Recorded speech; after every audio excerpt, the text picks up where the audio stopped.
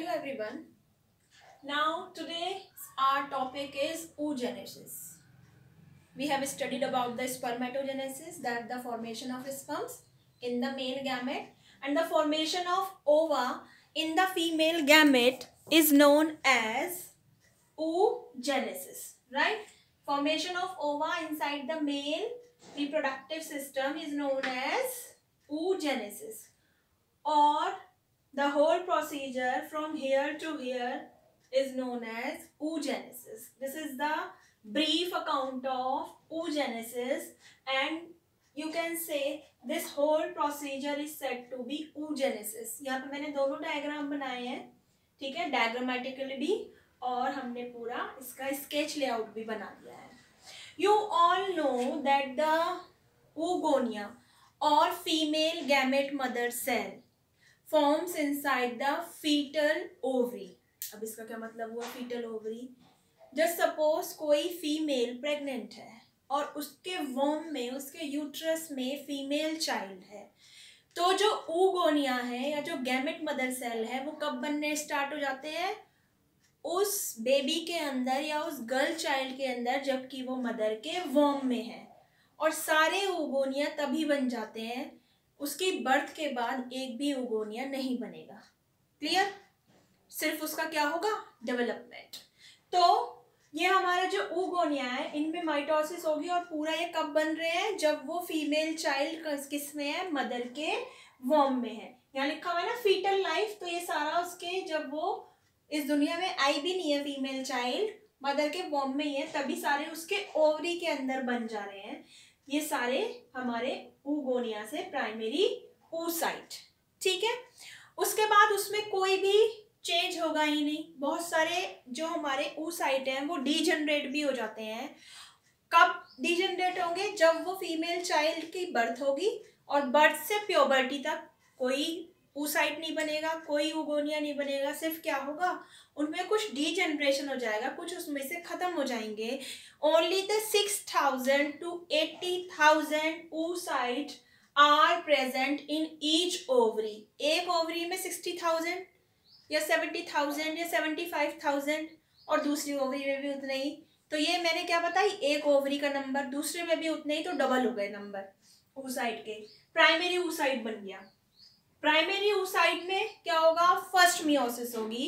First meiosis takes place inside the primary oocyte and this whole procedure takes place inside the female ovary ये पूरा मैंने diagrammatically दिखा दिया है कि जब मियोसिस होगी then so many granular cells granular granular cells surround the oocyte ये हमारा ऊसाइट है और इसको पूरा ग्रैन्युलर सेल ने एक लेयर ने घेर लिया। क्योंकि यहाँ पे एक ही लेयर है ग्रेन्यूलर सेल्स की therefore it is known as primary follicle why the follicle word is written here because the granular cells form the follicular structure ऐसे दानेदार स्ट्रक्चर उसके आसपास आपको दिखाई देगी। Therefore it is known as follicle right so this is known as primary follicle single layer ये पूरा meiosis ही हो रहा है फ़र्स्ट मियोसिस चल रहा है। यहाँ से यहाँ तक हमने एक साइड दिखा दिया फ़र्स्ट मियोसिस से सेकेंडरी साइड बन रहा है। ये पूरा हमारा फ़र्स्ट मियोसिस चल रहा है। और फ़र्स्ट मियोसिस में हमारा क्या हो रहा है? प्राइमरी फॉलिकल बन रहा है। फिर उसके आसपास और सारी सेल्स आ जाएँगी। So many layers of granular cells surround the oocyte that is known as secondary and tertiary follicle Here in the NCRT the tertiary follicle is given here and the tertiary follicle contains the antrum. Antrum क्या है? Theca आपको यहाँ पे पूरा ऐसा structure दिखाई दे रहा है। यहाँ पे हमारा पूरा थीका बन गया है। And theca contains two part internal theca and external theca और थीका इंटरना और थीका एक्सटर्ना इंटरनल से बना है इंटरना और एक्सटर्नल से बना है हमारा एक्सटर्ना ठीक है? तो ये पूरा हमारा टर्शरी फॉलिकल हो गया जब यहाँ पे बहुत सारी फॉलिकुलर सेल्स ने इसको घेर लिया। लास्ट ईयर बोर्ड में क्वेश्चन आया था सेकेंडरी फॉलिकल को लेबल करना था। अब सेकेंडरी फॉलिकल एनसीईआरटी में गिवन नहीं है।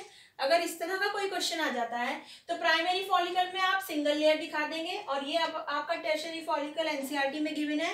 इसके बीच का हम एक स्ट्रक्चर बना देंगे। मैंने यहाँ बना दिया है थोड़ा बड़ा। तो ये हमारा क्या हो जाएगा? सेकेंडरी फॉलिकल पूरा granular cell surround the structure of follicle और द ऊ साइड ठीक है? और पूरा हमारा ये थीका वाला स्ट्रक्चर क्या बना देता है? Tertiary follicle then that primary oocyte form the tertiary follicle और the primary oocyte forms the secondary oocyte by the process of meiosis and meiosis is an equational division Therefore, a secondary oocyte and the first polar body is formed after the first meiosis. The secondary oocyte contains the haploid number of chromosomes because meiosis is the reduction division. ठीक है then again second meiosis takes place by which this structure forms the ovum which also contains the half number of chromosomes or the haploid number of chromosomes that is 23 this structure is said to be Graafian follicle contains so many follicular cells along with the female gamete or the female germ cell that is ova after the second meiosis from the Graafian follicle it forms the ovum. इसके अंदर ovum बन गया है then release of the ovum after the maturation of ovum or the Graafian follicle the releasing of ovum takes place from the ovary. That releasing is said to be ovulation. Ovulation. Right. And after the ovulation that hollow part is left behind. That hollow part is known as corpus luteum in case the fertilization takes place that corpus luteum convert itself into the gland and release the hormone progesterone which control each and everything during the time of pregnancy. If fertilization is not takes place when the ovum degenerate, as soon as the corpus luteum also degenerate to carry out the further formation of ova for the next cycle that is known as menstruation cycle जो हमारा next topic होगा ठीक है so the formation of ova by the process further processes is known as oogenesis or the formation of ovum from the oogonia or the gamete mother cell is known as oogenesis तो exam में question आता है differentiate between oogenesis and spermatogenesis. आप क्या लिखेंगे? बहुत सारे differentiation है। आप उसका मेल के बिहाफ पे लिखेंगे स्पर्मेटोजेनेसिस का और oogenesis का आप फीमेल के बिहाफ पे लिखेंगे। उसमें आप डेफिनेशन देंगे, उसमें आप प्लेस देंगे कहाँ पे मेल गैमेट बनता है, कहाँ पे फीमेल गैमेट ठीक है? मेल गैमेट के फॉर्मेशन में कौन से हार्मोन मेजर रोल प्ले करते हैं? फीमेल के फॉर्मेशन में कौन से मेजर रोल प्ले करते हैं? ठीक है? मेल गैमेट किस टाइम पे बनता है मेल के अंदर? At the time of puberty female gamete कब बनता है? ठीक है? प्योबर्टी पे तो बनता नहीं है फीमेल गैमेट वो तो फीटल ओवरी के अंदर ही बन जाता है। So these are the points of differentiation ठीक है? उसके बाद आप पूरा लिखेंगे कि मियोसिस में number of chromosomes primary oocyte में कितने थे? सेकेंडरी ऊसाइट में कितने थे? ठीक है? या जो हमने स्पर्मेटोसाइड पढ़े हैं, उसमें हमारे नंबर ऑफ़ क्रोमोजोम्स कितने थे? ठीक है?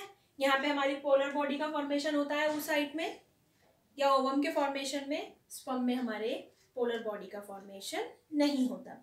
तो फीमेल रिप्रोडक्टिव सिस्टम और the process related to the female reproductive system are very complex as I told you so many times because the formation of baby takes place inside the human female. Okay, so that's all for today.